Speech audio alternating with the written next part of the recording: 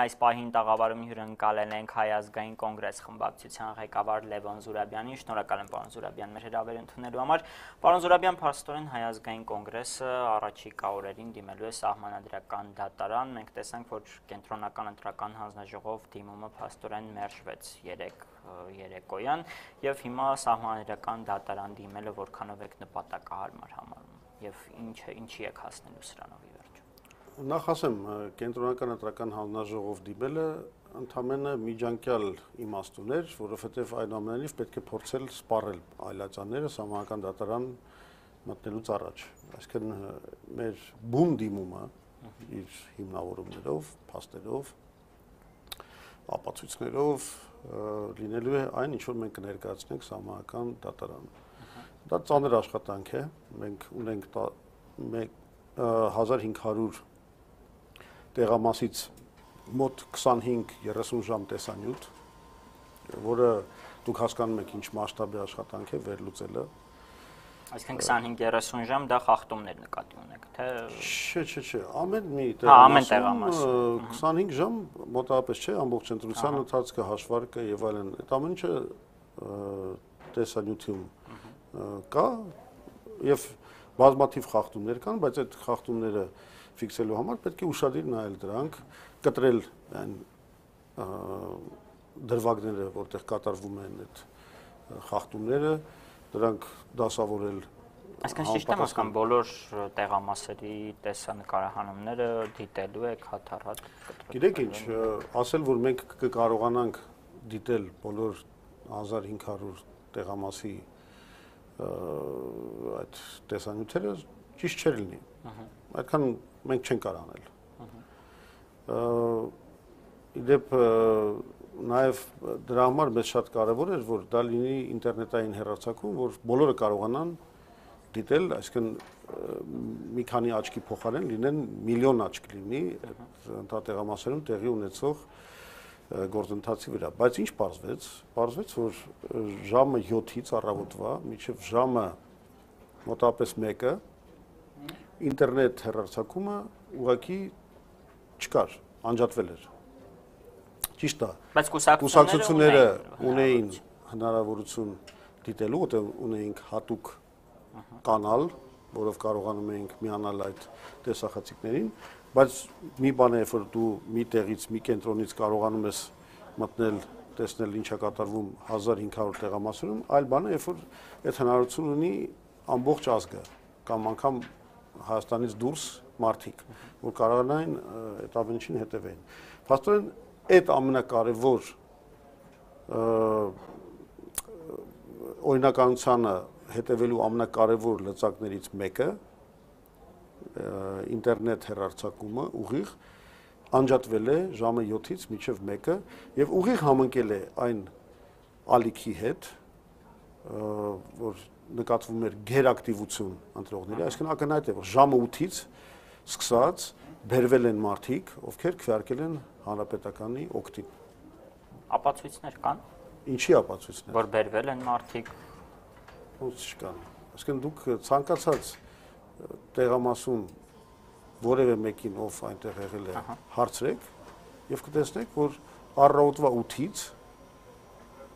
կարելի ասել 7-ից կեսից հավաքված մարդիկ կային, ովքեր մեծ տեմպով մտել են ու ասում եմ այդ գերակտիվությունը, ակնհայտ անբնական գերակտիվությունը ընտրողների տեղի ունեցել հենց առավոտվա ժամը 8-ից սկսած մինչև ժամը 1 ուղիղ այն ժամանակաշրջանը, երբ որ անջատված է եղել ինտերնետային հեռարձակումը։ Շատ լավ, պարոն Զուրաբյան, ձեր հայտարարության մեջ, որը տարածվել էր օրերս, Հայազգային կոնգրեսը նշում է, որ ընտրություններն անցան իշխանության կողմից կազմակերպված զանգվածային ու համակարգված օրինախախտումների կիրառությամբ։ Այստեղ նաև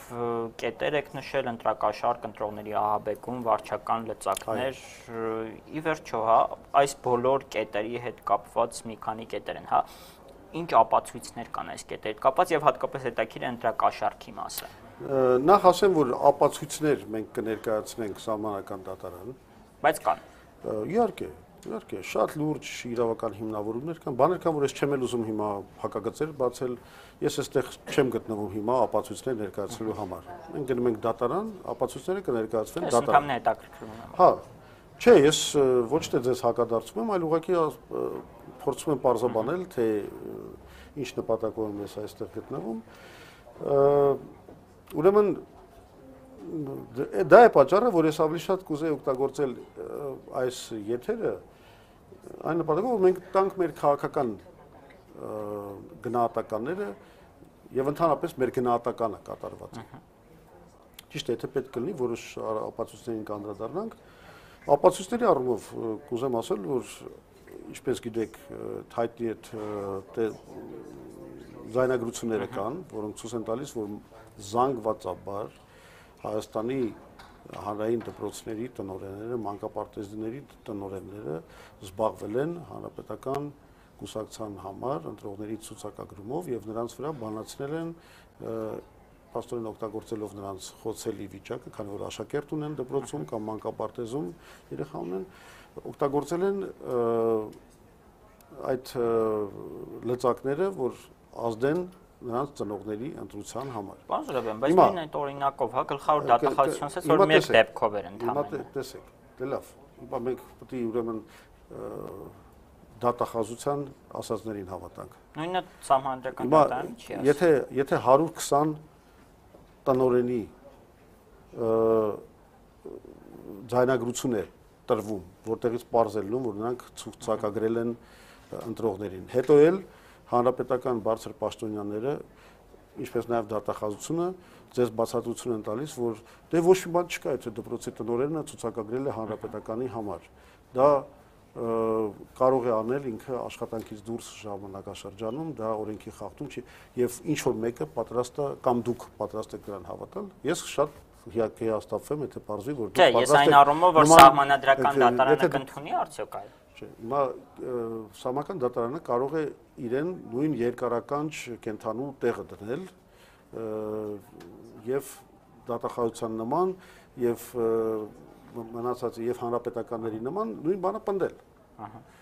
Դրանից ոչ սահմանական դատարանի պրոֆեսիոնալիզմն է Երևալու, ոչ նրա իմիջն է փրկվելու հակառակը։ Մենք ուղղակի տեսնելու ենք, որ հերթական անգամ մտ, մտածածին պատրվակներով հստակ ապացույցները մերժվելու են։ Ինչ եղավ կենտրոնական ընտրական հանձնաժողովում, որտեղ բերված էր նաև այնտեղ բողոք, մենք էլ ենք դիմել կենտրոնական ընտրական հանձնաժողովին, որ այդ գործերի համար պետք է հարուցել վարույթ, պետք է գնալ դատարան։ Դատարանը պետք է ողրզի, թե ինչ է այդ այդ ձայնագրությունների յետևում թաքնված։ Թեև գիտեք ինչ, դա չեն արել, դա արդեն ցույց է տալիս, որ իրականում նրանք ծածկում են այդ այդ բոլոր կատարված հանցագործությունները, բայց մեզ համար པարզ է, չէ, ինչ է կատարվել։ Այդ ձայնագրությունները եթե լսում եք, Պարզը ինչ է կատարվել։ Ինչ է նշանակում, որ դպրոցի տնօրենը հանրապետական կուսակցության շտաբին ներկայացնում է ցուցակներ հանրապետականի համար պատրաստ ընտրողների համար հանրապետական համար քվեարկելու պատրաստ ընտրողների։ Դա ինչ է նշանակում։ Նշանակում է, որ նրանք ունեցել են հստակ հանձնարարություն այդ ամենը անելու համար։ Թե ինչ որ մի վարակ է պատել դպրոցների տնօրեններին, որ հանրապետականի համար աշխատել հանրապետականների համար իրենք մեկ էլ որոշել են աշխատել ցուցակագրել ընտրողներին։ Պարոն Զուրաբյան, վերադառնալով Բայց ես գիտեք մի բան ուզում եմ շեշտել։ Ահա։ Մենք պետք է հասկանանք, որ այդ ընտրակաշարքի մասին որ խոսում ենք, դա եղել է համատարած, համակարգված նորմալ էլ գիտենք որոշված 10000 դրամ բոլորին բաժանել են։ Բայց ապացույց, ասում են ապացույց բերեք, կա ապացույց։ Սպասեք, սպասեք նախ որոշ ապացույցներ հենց ազատություն ռադիկալն է տրամադրել, երկու տեսագրություն կա, մեկում պարզվել է, որ հանրապետականի շտաբում փողեր են բաժանվել, ձեր Սիսակ Գաբրիելյանը նկարել է, իրան դրա համար ծեծի են ենթարկել, իսկ հետո էլ պարզաբանել են, թե դա աշխատավարձ է, որը ուղակի բաժանում են, չգիտես ինչի, այդ օրը հենց ընտրության օրը աշխատավարձ են բաժանում իրենց շտաբի աշխատողներին։ Մարզում։ Պարզ է, որ ձեր լրագրողը հերոսաբար հերոսաբար ֆիքսել է դա եւ ոչ մի արդյունք դա չի ունեցել։ Բայց սա եզակի դեպք է։ Դուք տենց եք կարծում։ Կան էլի դեպքեր։ որ նման բան արվել է։ Որ փաստեր, փաստեր կան, որ նման գոնե նման միջադեպ։ Լսեք, դուք ինչ եք ուզում, որ ես ձեզ բերեմ տեսաժապավեն։ Չէ, ուզում եմ իմանամ կան։ Ամբողջ ազգը դրա մասին է խոսում։ Դուք էլի նորից եմ, այ հիմա ձեզ եմ ասել։ Չէ, խոսալու Ազատություն պարոն Ազատություն խոսալու մի րոպե, մի րոպե։ փաստեր են ուզելու դա Ես դարան, չէ։ ազատ փաստեր են ուզելու եւ այդ փաստերը երբ որ լավ, ձեզ մի հատ པարզ օրինակ բերեմ։ Մի հատ པարզ օրինակ բերեմ։ Ես ունեմ բարեկամ, որին զանգում եմ եւ ասում եմ, նա մի մասնավոր ֆիրմայում աշխատում է։ Բարեկամ է։ Ես նրան զանգարում եմ եւ ասում եմ, գիտես ինչ, ես ընդ կենտրոնում եմ առաջադրված։ Դու էլ կենտրոնի ընտրող ես, խնդրում եմ քվարկես իմ օգտին։ Եվ ինչ է ինքը ինձ պատասխանում։ Սա եղած բան է։ Իմ բարեկամը ինստիտուտը ավարտած։ Նա ասում է, բայց ինձ ասել են, որ աշխատանքի տեղում ասել են, որ կենտրոնականին պիտի տամ ձայնը։ Ձայնս պիտի տամ կենտրոն բանին, հանրապետականին։ Ես իհարկե խոսակցության շարունակելու ոչ մի ցանկություն չունեցա, դրանով ավարտեցի այդ խոսակցությունը, որովհետև པարզ է։ Նա երբեք չի գա, ձեր առաջ չի նստի կամ չի գնա չի գնա դատախազություն կամ որևէ քննիչի առաջ չի տա, ցուցմունք նրա մասին, որ իրեն պարտադրել են քվարկել հանրապետականի օգտին։ Ինչու՞։ Որովհետև ինքը հազիվ աշխատանք ունի, այդ աշխատանքից իրեն կզրկեն։ Այդ դա ինքը ստացել է այդ հրահանգը ինքը ստացել է իր մասնավոր կամպանիայի ղեկավարից։ Հիմա այդ ամենը կատարվել է ամբողջ Հայաստանով։ Ամբողջ Հայաստանով այդ բանը կատարվել է։ Եվ ես ուզում եի հենց դա ասեի, դուք հա խնդիրը դնում եք ընտրակաշարքի վրա, հիմա ընտրակաշարքի այդ ապացույցներին էլ կհասնենք, բայց դուք պետք է հասկանաք մի բան, գործել է ոչ թե միայն ընտրակաշարք։ Ընտրակաշարքը ընդամենը փոքրիկ բոնուս է, որը վերջում տվել են ահաբեկված ընտրողին։ Իրականում գործել է լրիվ այլ համակարգ, բոլոր ընտրողների վերաբերյալ նրանց խոցելիությունները ուսումնասիրվել են։ Պարզվել է, որ ասենք այս ընտրողը ունի երեխա բանակում կամ նրա, չգիտեմ, եղբայրը ունի մի փոքր կրպակ կամ այս մարդը աշխատում է մարս, նրա մի այսպիսի բարեկամ աշխատում է մարզպետարանում եւ այլն եւ այլն։ Եվ այդ մարդկանց པարզ ասվել է, որ եթե դուք չեք ուզում խնդիրներ, դուք գնում եք հանրապետականի համար եք քվարկում։ Իսկ եթե չքվարկեք, ուրեմն պատժամիջոցը parzելնելու թե ինչ է լինելու։ Ընդ որում այդ համակարգը գործել է բոլոր ռեսուրսներով։ Այդ որ բացվել է դպրոցների եւ մանկապարտեզների համակարգում այդ ահաբեկման համակարգը դա ընդամենը այն է ինչ որ հաջողվել է դեր հանել շատ համառ աշխատանքի շնորհիվ, երբ որ կոնկրետ մարդիկ զանգարել են տնօրեններին եւ կարողացել են ձայնագրել նրանց խոսակցությունները։ Բայց այդ բանը տարածվում է բոլորի վրա։ Դա արվել է հիվանդանոցների գծով, դա արվել է հարկայինի, դա արվել է դատավորների, դա արվել է դա արվել է տեխնացուների միջոցով, ովքեր թաղային հեղինակություններ են, ունեն ինչ որ հնարավորություններ ազդելու այդ մարդկանց ճակատագրի վրա։ Դա արվել է կրիմինալի այդ ճնշմամբ։ Այսինքն իրականում մենք շատ լավ պետք է հասկանանք, ոչ թե ընտրակաշարք է բաժանվել եւ ժողովուրդն էլ հաճույքով գնացել է այդ ընտրակաշարքը ընդունել է, որի պատճառով հիմա ժողովրդին փորձում են քննադատել որոշ մարդիկ։ Ոչ։ Հայաստանում ստեղծված է ահաբեկման մի միջավայր, որտեղ համարյա բոլորին, ասում եմ, մոտ մի 90%-ին մարդկանց պարտադրում են քվեարկել այս կերպով, հրահանգավորված, օգտագործելով բոլոր լծակները, որոնց մասին ես խոսացի։ Իսկ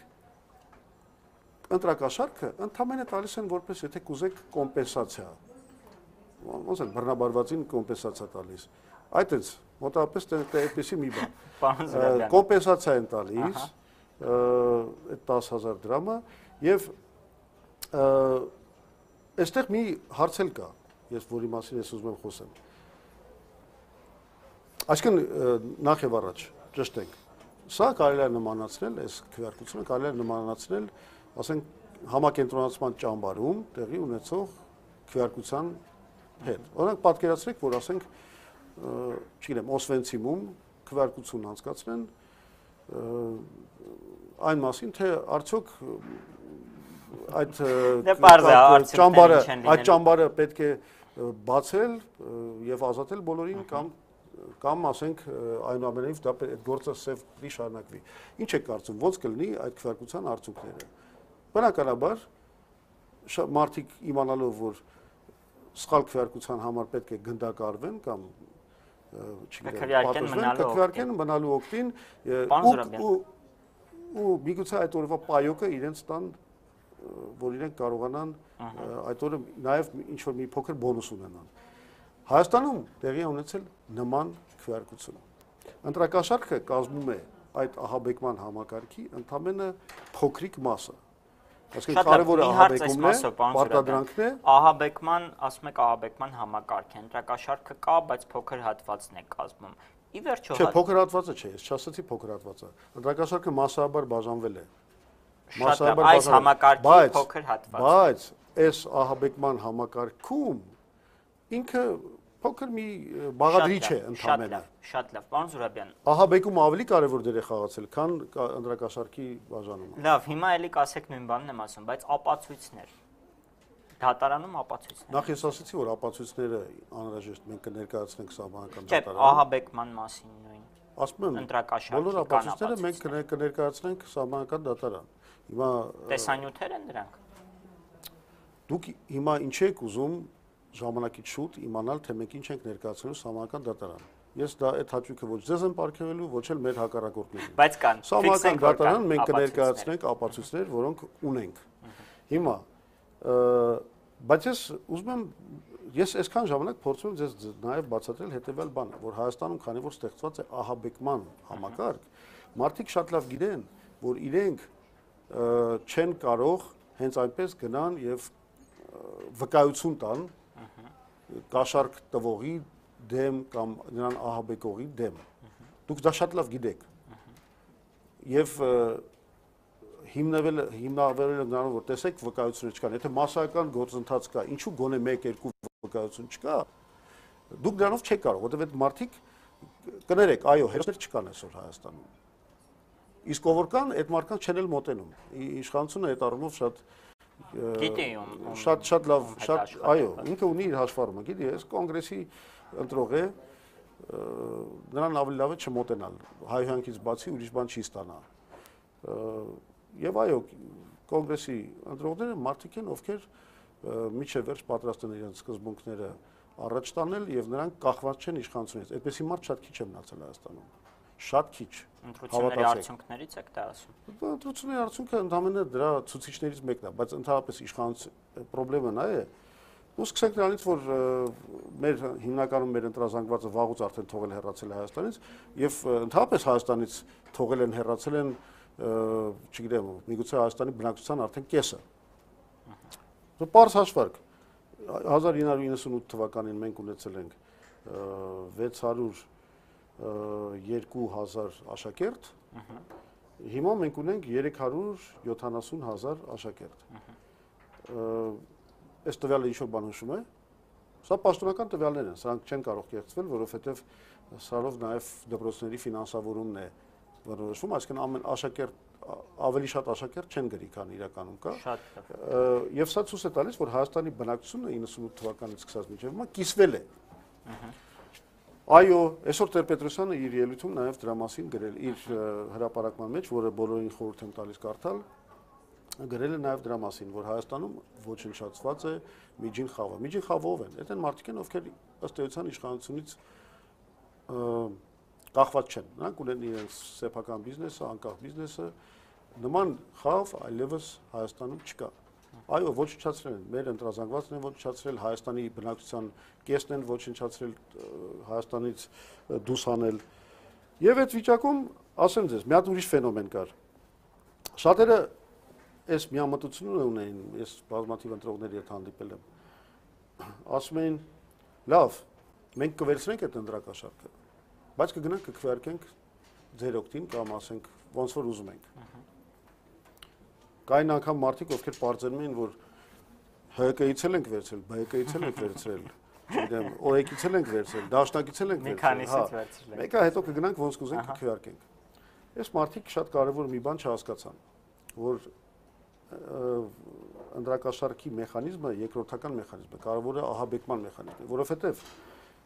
այս բանը շատ լավ գիտեր նաև իշխանությունը, այդ տրամադրությունները։ Դրա համար իշխանությունը արեց ամենակարևոր բաղադրիչը այս բանի հանցագործության զանգվածային սա է եղել քվեարկության գաղտնիության խախտումը։ Իշխանությունը շատ լավ գիտեր, որ այդ մարդիկ ահաբեկել են, չգիտեմ, կաշառք են տվել։ Միևնույն է, իրենք վստահ չեն կարող լինել, որ այդ մարդը կքվեարկին այնպես ինչպես իրեն պետք է։ Եվ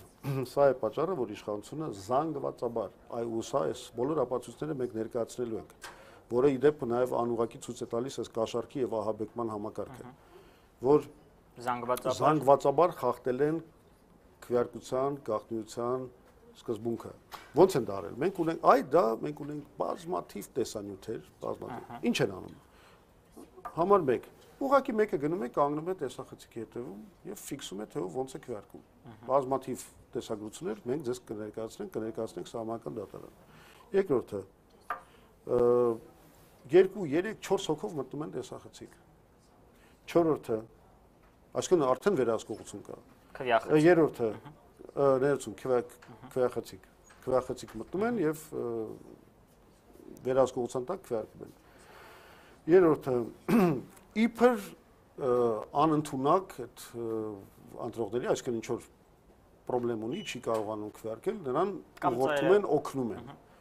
Մի հսկայական ծավալ մարդկանց ով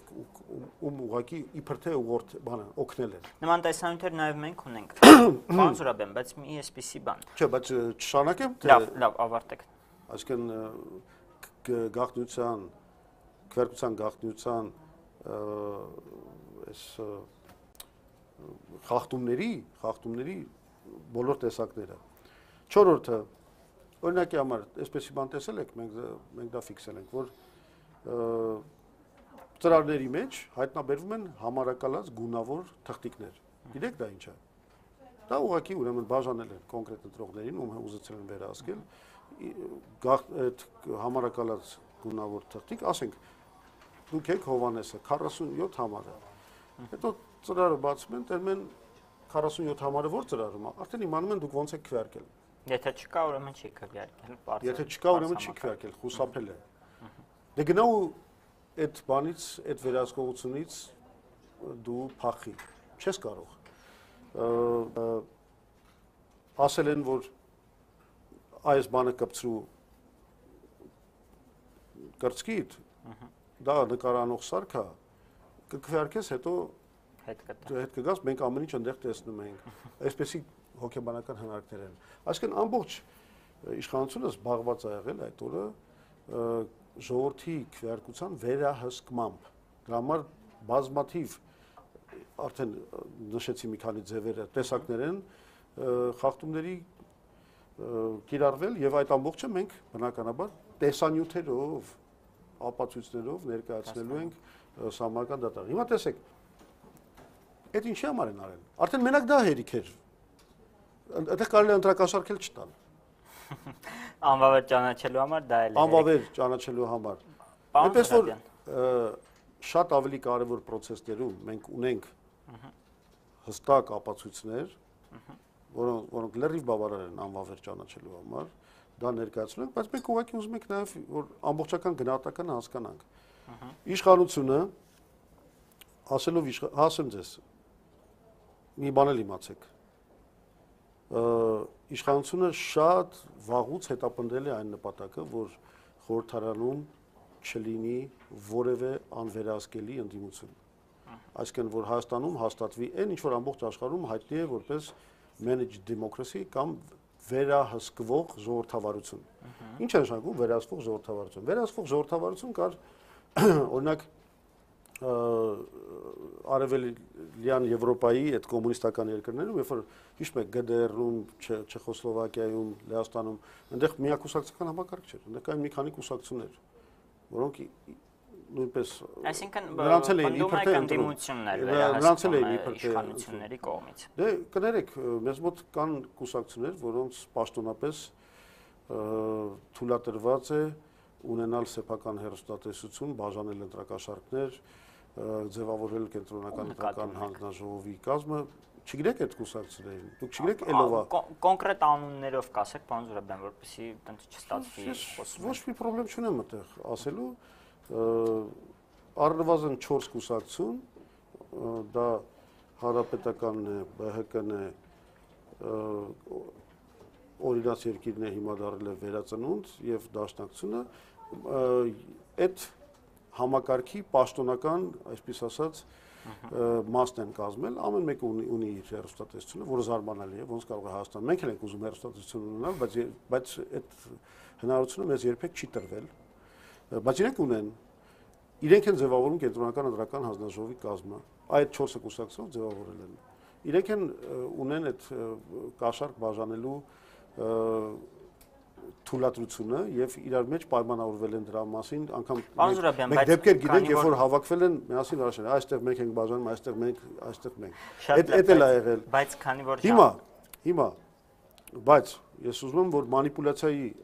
բանը ծավալը լրիվ པարզ լինի ահա իդեալը պետք է լինի հետեւյալը որ ոչ միայն ամբողջ քաղաքական դաշտը բաշխվի այս կուսակցությունների միջև այլ նաև անդիմությունը անդիմություն ընկալվող քաղաքական ուժը լինի վերահսկելի։ Այդ դրանել են հասել։ Այսուհետև այսուհետև այսուհետև Հայաստանի խորհրդարանում չկա որևէ ուժ, որը չի վերահսկվում իշխանության կողմից։ Կբացատրեք, պարոն Զուրաբյան, քանի որ մեղադրանքը շատ լուրջ է, հա, ի վերջո Ծառուկյան դաշինքը եւ Ելք դաշինքը ինչպես են վերահսկվում իշխանությունների կողմից։ Կներեք, ես հիմա դուք խոսում եք ինչ որ բաների մասին, որ պրոժինների մասին, ինչ որ գախնի բաների մասին, որ ես կարող եմ տեղակել չեմ, թե ինչպես են կոնկրետ վերահսկվում։ Բայց վերահսկվում են հաստատ։ Ինչ ինչ կոմպրոմատներ ունեն, ինչ կապեր ունեն եւ այլն եւ այլն։ Հիմա այտենց կոնկրետ ես չեմ կարող ներկայացնել։ Բայց հաստատ գիտեք, որ վերահսկվում են։ Դե լավ, ասենք երբ որ ես ձեզ բացատրում եմ, թե ինչ մեխանիզմներ են գործում, այդտեղից པարզ չի արդեն ինչա արվում։ Կամ դուք մի հավատացեք։ Ահա Ես խնդիր չունեմ։ Ես չեմ ուզում որևէ մեկի տոնը փչացնեմ։ Եթե ասենք կան մարդիկ, եթե կան մարդիկ, ովքեր հավատում են, եթե կան մարդիկ, եթե կան մարդիկ, ովքեր հավատում են, որ այսօր Հայաստանում խորհրդարանում այս ընտրություններից հետո մնացել է որևէ քաղաքական ուժ, որ չի վերահսկվում Հայաստան Հայաստանի իշխանությունների կողմից։ Ես այդ մարդկանց անկեղծորեն շնորհավորում եմ։ Ասում եմ, հավատա շարունակեք հավատալ։ Շատ դա բոլորը հիմա վերահսկվում են իշխանությունների կողմից այս նոր ազգային ժողովում։ Չէ, հիմա նայեք դուք հասեն այսպես եք փորձում շուրջ տալ։ Ինձ համար ամենակարևոր արձանագրումը հետեւյալն է։ 2007 թվականին ստեղծվեց այդ այդ համակարգը 2007 թվականից արդեն ամեն ինչ վերահսկողության տակ էր 2008-ին մենք այդ փորձեցինք խախտել։ Ճիշտ է, պարլամենտ չհաջողվեց մտնել կամ էժանական ընտրություններ չկար, նախագահական ընտրությունների հետևանքով ձևավորվեց հզոր արտախորհրդանային անդիմություն եւ մենք այդ process-ը տանում ենք, թեև պարլամենտում չէր, բայց դրսում կար այդ ուժը, այդ ուժը հետո կարողացավ ճնշումով իրականում եւ ներքին եւ միջազգային ճնշումով պարտադրել իշխանության մուտքը պարլամենտ եւ դա մի հատ գլխացավանք էր։ Բայց ի վերջո հիմա ստացվեց պաստորը։ Իշխանության համար կոնգրեսի գոյությունը անվերահսկելի մի ընդդիմության կոնգրեսի գոյությունը պարլամենտում դա մի ահավոր գլխացավանք էր, որովհետեւ միակ ուժներ, որ անկաշկանդ Պաստորեն գլխացավանքից ազատվեց։ Գլխացավանքից ազատվեցին, բայց պարոն Զուրաբյան, քանի որ հարցերը շատ են։ Գլխացավանքից ազատվեցին, բայց ես ուզում եմ այս բանը անպայման ասեմ, բայց ինչ գնով։ Այո, ազատվել է։ գինը որը աղետալի է լինելու Հայաստանի համար, որովհետև գոնե ապրիլյան պատերազմից հետո հույս կար, որ նա կարող է ինչ որ ուղեղները պատտացնեն եւ մտածեն, որ եթե շարունակեն իշխանության կարճելու այս քաղաքականությունը, դա ի վերջո բերելու է շատ աղետալի հետևանքների ազգային անվտանգության առումով, պատերազմի առումով։ Ցավոք սրտի պարզվեց, որ իշխանությունը մեծ վարպետ է։ Իսկապես ես կարող եմ շնորհավորել Սերժ Սարգսյանին, նա փայլուն կոմբինացիաներով կարողացավ ապահովել այս հաղթանակը, բայց մեծ վարպետը ինչ ինչ հարցում։ Մեծ վարպետը իշխանությունը պահպանելու հարցում։ Իշխանությունը իշխանությունից կարճած մնալու եւ իշխանությունը պահպանելու հարցում, այո, մեծ վարպետ է եւ հասել է փայլուն հաղթանակի։ Շատ լավ, պարոն Զուրաբյան, բայց Հայաստանը ճիշտ ուղությամբ տանելու հարցում մենք ունենք միայն պարտություններ եւ ես ասեմ, այս իշխանությունը պահելու հաղթանակը իրենք ձեռք են բերել այնպիսի գնով, որ դեռ իրենց քթից դուրս է գալու։ Շատ լավ։ Պարոն Զուրաբյան, նախորդ տարվա սեպտեմբերին ազատությանը տված հարցազրույցում ասել եք, որ ընտրակեղ ծառայության հնարավոր ծավալները էապես կկրճատվեն 4 գումարած 4 գումարած 4 ֆորմատից եք խոսել եւ ասում եք, որ եղել են ընդդիմության բոլոր պահանջները ներկայացված փաստաթղթում եւ այս ձևը եթե աշխատի, տեսախցիկներից եք այստեղ խոսում on-line հեռարձակումից, ցուցակների հրապարակումից եւ ասում եք այս ամենը ընտրակեղծարության հնարավոր ծավալները էապես կկրճատի։ Հիմա փաստորեն Հայ ազգային կոնգրեսը հայտարարում է, որ ընտրությունները կեղծվել են։ Ահա։ Ի վերջո,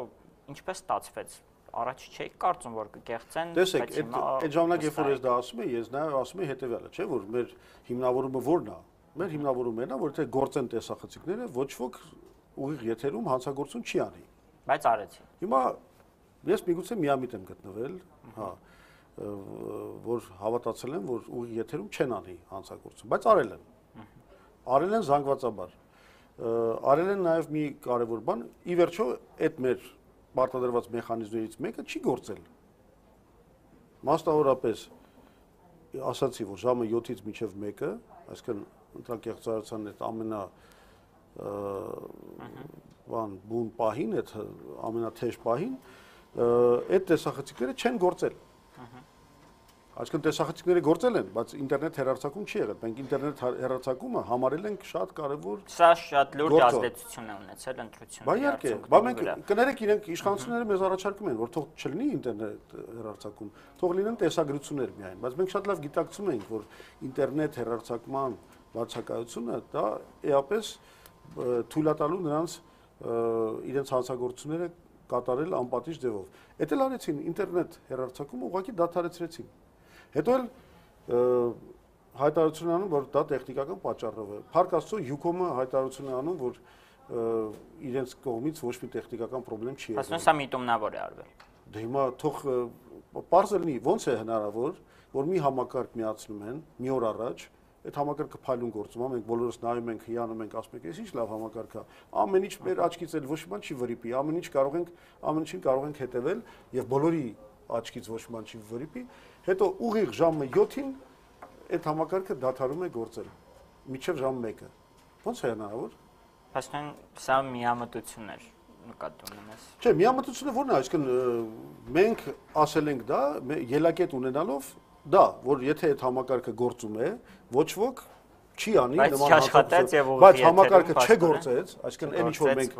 այն ինչ որ մենք այն ինչ որ մենք պարտադրել էինք, հա, իշխանությունները համաձայնվել էր, նա ինչ որ խորամանկություններով բան ուղղակի վիժեցրեց, այսինքն դա այդ համակարգը չգործեց։ Մեկ երկրորդը նաև միգուցե այս սխալվել ենք այդ թեզիսը, որ եթե կամերաներ են դրած, ամեն ինչ տեսագրվում է, հերարցակվում է, ուրեմն մարդը չեն անի, չեն անի, բայց արել են։ Պարոն Զորաբյան, մի քանի հարց Իշխանությունը պարզվեց ավելի կարևոր է, ավելի քաղցր է, բայց մյուս կողմից գիտեք, ես օրինակ չեմ համարում, որ մենք սխալ բան ենք արել, որովհետև Չէ, ես չեմ ասում սխալ բան ենք արել։ Չէ, ասեմ ինչ, ինչն է կարևոր Էս շատ լավ է։ Հիմա մենք գոնե ունենք այդ ապացույցները, տեսագրությունը։ Մենք այդ ամբողջ բաները մեր պահպանել ենք մեզ։ Շատ լավ, այ վերադառնալով հենց համանդրական դատարանդիմին, բայց ինքնուրույն մի քանի հարցը շատ կարճելի։ Որոնք են հայ ազգային կոնգրեսի հիմնական հենասյուները համանդրական դատարան դիմելու։ Հիմնական հենասյուները, ահա, դիմումի հենասյուները որոնք են։ Դե, որոնք են հիմնական գծերը։ Հիմնական գծերը դրանք հետևյալն են։ Օրինակ էս գաղտնիության, քվեարկության գաղտնիության զանգվածային խախտումները, որոնք պարզապես ապացուցված են տեսանյութերով։ Արդեն միայն սա բավարար էր ընտրությունները անվավեր համարելու, որովհետև եթե գաղտնիությունը չի երաշխավորում, դա դառնում է այն համակենտրոնացման ճամբարի քվեարկության նման մի բան։ Բայց գաղտնիությունը ինչի համար է։ Հենց դրա համար, որ իշխանությունները չկարողան հիմնականը փաստորեն սա երկրորդը այդ ահաբեկումները եւ ադմինիստրատիվ լծակների այդ լծակներով այդ ճնշումները որոնց ապացույցները ներկայացված են, ու ներկայացված են նաև ապացույցներ, որ իրավապահ մարմինները եւ կենտրոնական ընտրական հանձնաժողովը չի գործել այդ խախտումները հետազոտելու եւ հետաքննելու համար չի արել, այսինքն նաև անգործությունը կա այստեղ իրավապահ մարմինների եւ կենտրոնական ընտրական հանձնաժողովի, դա ընդրության նշանակման օրը սխալ նշանակելու 20 օր խախտումով խախտում տալու այդ բանը վերջը կան բա հիմնականները դրանք են լավ մյուս հարցը ստամ պարոն Զուրաբյան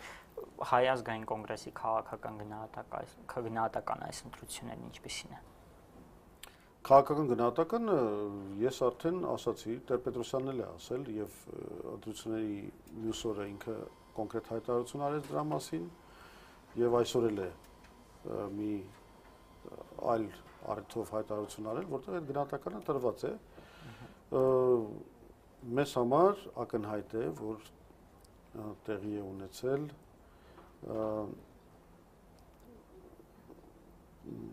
ադմինիստրա վարչական լծակների ճնշումների կիրառմամբ եւ ընտրակաշարքի բաժանմամբ ինչպես նաեւ քվեարկության գաղտնության զանգվածային խախտումներով մի միջոցառում, որը ընտրություններ հենց այդ պատճառ, հենց այդ խախտումների պատճառով ընտրություններ անվանել չի կարելի։ Շատ լավ, պարոն Զուրաբյան, ինչ հույս է կապում սահմանադրական դատարան դիմումի հետ։ Սահմանադրական դատարանի հետ մենք որևէ հույս չենք կապում, որովհետև այդ սահմանադրական դատարանը բազմից սապացել է, որ ինքը կամակատարն է իշխանությունների, բնականաբար իրենք ինչքան էլ հիմնավորված հայց մենք ներկայացնենք նրան միևնույնն է իրենց ծև գործը անելու են եւ հայտարարելու են, մերժելու են մեր այդ բողոքը եւ հայտարարելու են, որ ընտրությունները ընտրությունների արդյունքների վրա այդ խախտումները չեն ազդելու բայց մենք անգամ կանխատեսելով այդ արդյունքը դիմում եք դիմում ենք որովհետեւ համարում ենք որ պետք է հնարավորություն տալ ընտրական իրավունքի վերականգնման եւ արդարության վերականգնման համար պայքարող բոլոր ուժերին արտահայտվելու։ Մենք մասնավորապես լիազորել ենք այդ ինչ է կոչվում քաղաքացի դիտորդ կազմակերպության ներկայացուցիչ Տիգրան Եգորյանին ներկայացնել մեր հայցը, որտեղ մենք գիտենք, որ քաղաքացիական հասարակությունը շատ լուրջ մոնիտորինգ է արել այս ընտրությունների, նրանք ունեն բազմաթիվ փաստեր։ Մենք ուզում ենք թույլ տալ նաև իրենց ներկայացնել իրենց ունեցած փաստերը։ Պարոն Զուրաբյան, եւ հաջորդ հարցին անցնելով հա, բայց խնդրում եմ ելի կարճ մի քանի հարց է մնացել ինչու հակը դուրս չեկավ փողոց Զանգվածաբար ասում եք հաղթվել է կարգը ընտրության, հա, նման ճնշումներ են եղել։ Ինչու դուրս չեկաք փողոց։ 1.66 1.66% հավաքած կուսակցությունը եթե կոչանի դուրս գալ փողոց, դա մի քիչ անլուրջ կլինի։ Բայց չեք հավատում այդ արդյունքներին դուք բացում։ Չէ, մենք չենք հավատում։ Մենք զանգվածաբար համարում ենք, որ դեպքում ինչի է այդ արդյունքը։ Բայց ես ասացի, հա? Ինչու է ինչու է այդ արդյունքը ասում, եթե չեք հավատում արդյունքներին, ինչու է այդ արդյունքները չենք հավատում։ Մեր պարտն ենք համարում, որ ներկայացնենք կեղծման մասին փաստերը, բայց մենք չենք կարող առաջնորդել փողոցային այդ շարժումը, որովհետև այդ այդքան մարդ մենք ճունենք մեզ աջակցող այս հարցում, որ հնարավորություն տար մեզ արդյունավետ գործընթաց տանել ազատության հրապարակում եւ եւ այլուր։ Չունենք այդ բանը։ Ինչից գիտեք, որ չունեք։ Դե լավ, Նկատի ունեմ S 1.66 ինչպես ասում եք, հա։ Դա կներեք, մենք շատ լավ հասկանում ենք ոնց է ձեռք բերվել այդ արդյունքը, ասենք ես վստահ եմ, որ բազմաթիվ մարդիկ, ովքեր պիտի կոնգրեսի օգտին քվեարկեին, ընկնելով այդ վերահսկող ահաբեկիչ մեխանիզմի եւ ընտրակաշարքի ազդեցության տակ ստիպված քվեարկել են հանրապետականի կամ այլ կուսակցության օգտին։ Բայց սպասեք, բայց դա նաեւ նշանակում է, որ այդ մարդը ահա դուրս չի գա փողոց։ Ահա։ Այդ մարդը, որ անցել է այդ մեխանիզմի հետ ճշմարտ տակ է ընկել, այդ մարդը փողոց դուրս չի գա։ Շատ լավ ասած, ասենք 20% էլ մեզ մեզանից այդ մեխանիզմով հիմա խլած լինեն, այդ մարդիկ այլևս Այսինքն դուք այս արդյունքը ընդունում եք, որ ստացել եք տեղամասերում այն, ինչ հիմա կա։ Բացարձակ։ Ոնց կարող ենք ընդունել, եթե ասում եմ Չէ, ճնշումներ ամեն ինչ եղել է։ Բա ո՞նց ենք ընդունել։ Բա ո՞նց կարող ենք ընդունել։ Եթե ասում եմ տեղի ունեցել կենտրոնացման ճամբարի քվեարկություն, եթե եթե մարդկանց եթե կներեք, եթե ազատ կամ արտահայտություն տեղի չի ունեցել, դա բոլորս ընդունում ենք, չէ՞, հասկանում ենք, որ աղավաղվել է ժողովրդի կամքը։ Ոնց կարող ենք մենք ընդունել այդ արդյունքները։ Ոնց կարող ենք ասել, որ ուրեմն մեր տոկոսը այդքան է։ Ոչ, մեր տոկոսը այդքան չի։ Բայց ոչ ոք չգիտի ինչ կարա։ Որտեվ խեղացյուրվել է, որովհետև խեղացյուրվել է։ Խեղացյուրվել է, եթե կներեք լցնում են հանրապետական, լցնելը ոչ թե նկատի ունեմ քվեատուփի մեջ լցնել, լցնել նկատի ունեմ, որ կազմակերպված բերում են ընտրողներին, ասում են, այ դու կքվեարկես 6-ը, դու կքվեարկես այս մեկը, դու կքվեարկես այն մեկը։ Եթե այդ ամեն ինչը արվել է, ու ոչ միայն հանրապետական, այսինքն իրանք նախորդ իրանց համար գծած մի հատ կազմ ունեն պարլամենտի, որի իրականացման համար իրենք գործել են, ամբողջ մեքենան գործել է այդ ուղղությամբ։ Մենք բայց ձեր մենք ո՞նց պիտի ո՞նց կարող ենք ընդունել այդ այդ նման միջոցառման արդյունքները։ Տեսեք, ընդդիմադիր նույն ելք դաշինքը ասում է, որ իրենք այս արդյունքներն են ստացել տեղամասերում, իհարկե եղել են ճնշումներ, տարբեր խախտումներ, բայց արդյունքը ի վերջո տեղամասերում սա է իրենք ընդունում են։ Ինչու չեն բողոքում։ Հուսով եմ ձեզ է ինչու։ Վերահսկվում են։ Որովհետև նաև գին է պետք վճարել այդ ամեն ինչի համար։ Լեգիտիմացնելու։ Ցավով եմ դա նշում, բայց իշխանության համար շատ կարևոր էր այս ընտրությունների արդյունքում ապահովել խայտարակ ընտրությունների, որ բոլորը ընդունում են, այդ թվում ձեր ասած ուժը գոնե առանձին ներկայացուցիչների առումով ոչ առաջնորդների ասում է որ խայտարակ ընտրություն են։ Հիմա իշխանությունը ինչ էր պետք։ Իշխանությունը պետք էր որ լեգիտիմացնելը դա իշխանությունը պետք էր որ ոչ մի քաղաքական ուժ, որ այսօր ներկայացված է parlamentum կամ հաղթարել է, չբարձրացնի ընտրությունների լեգիտիմության հարցը։ Որովհետեւ դեպքում իրենք ամբողջ միջազգային հանրության կարան ասեն, տեսակ ոչ մի քաղաքական ուժ, որ ռեալ ձայնաստացել այս ընտրություններում չի բողոքում։ 12-ի խորհրդարանական ընտրություններից հետո հայ ազգային կոնգրեսը ինչ արեց, պարոն Զուրաբյան։ Նույն բանը։ Խայտարակ ընտրությունների արդյունքները ներկայացրեց դիմեց համանական դատարան այն ժամանակ նաև մի քանի հանրավակ անցկացրեցինք, որովհետև կար նաև մեծ զանգված, որը պատրաստ էր փողոց դուրս գալու, բայց ի վերջո ոչինչ չփոխվեց։ Դե մենք փորձեցինք կազմակերպել ճնշում, ստացանք այն ինչ որ ստացանք։ Այսինքն ինչքան որ ընտրազանգված հնարավորություն եղավ փողոց անելու, գիտեք ինչ, պետք է նաև քո քաղաքական պլանները համապատասխանեցնես քո հնարավորություններին, ասենք, ժողովրդին փողոց դուրս անելու։ Եվ այն ժամանակ ենք սազացրել եւ հիմա էլ։ Եվ վերջին հարցից պարոն Զուրաբյան, ինչ է անելու հայ ազգային կոնգրեսը հիմա։ Երևանի ընտրություններին չեք մասնակցում, ինչ է անելու կուսակցությունը։ Հա, նախ Երևանի ընտրություններին չենք մասնակցելու, ասեմ, པարզ պատճառով, որովհետև ազգային ժողովի այս ընտրությունները մենք փորձեցինք քաղաքականացնել, մենք փորձեցինք այս ահաբեկման ընտրակաշարքի շղթան քանդել,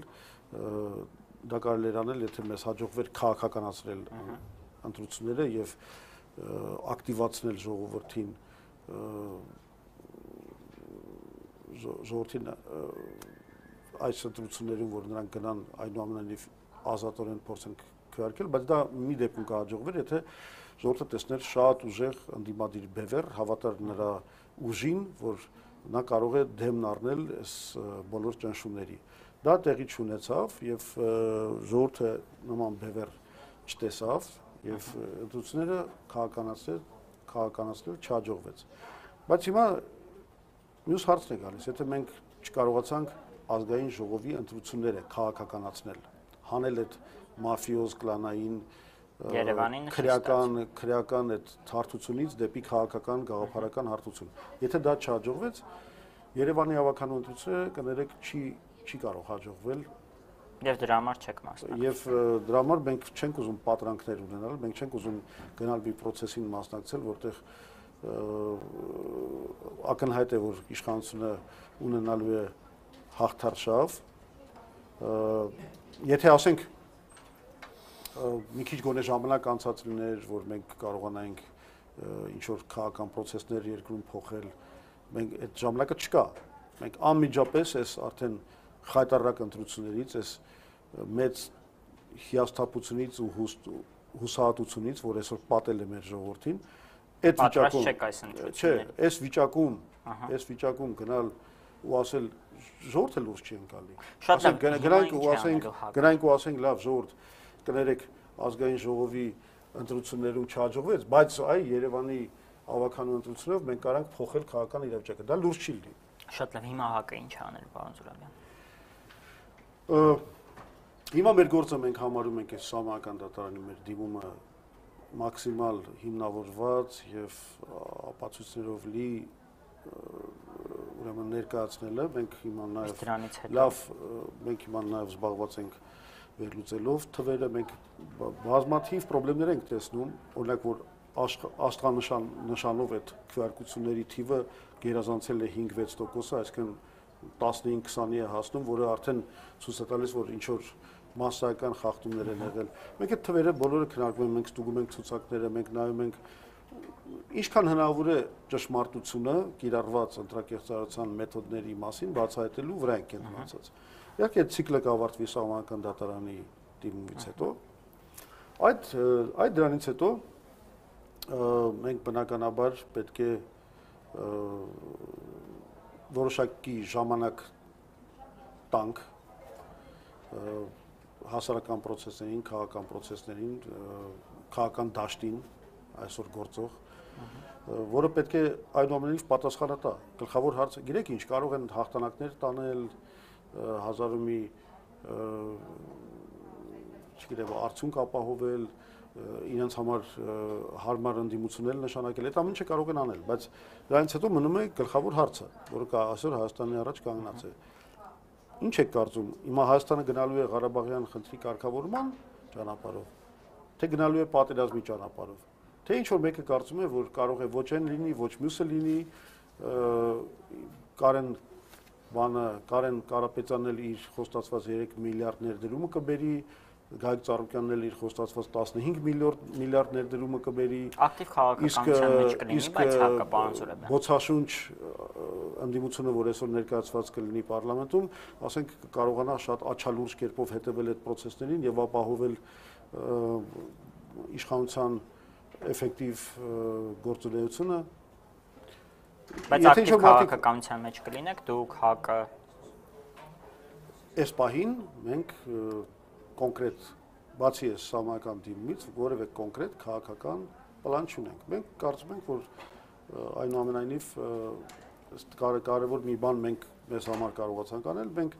այո կորցրեցինք ընտրությունները բայց մենք չենք կորցրել մեր սկզբունքները ցավոք սրտի այս ընտրությունների ֆորմուլան հետեւյալն էր ընտրություններում հաջողության հասնելու համար պետք էր կորցնել սկզբունքները մենք դա չարեցինք եւ կարծում եմ սա կարեւոր նվաճում է որը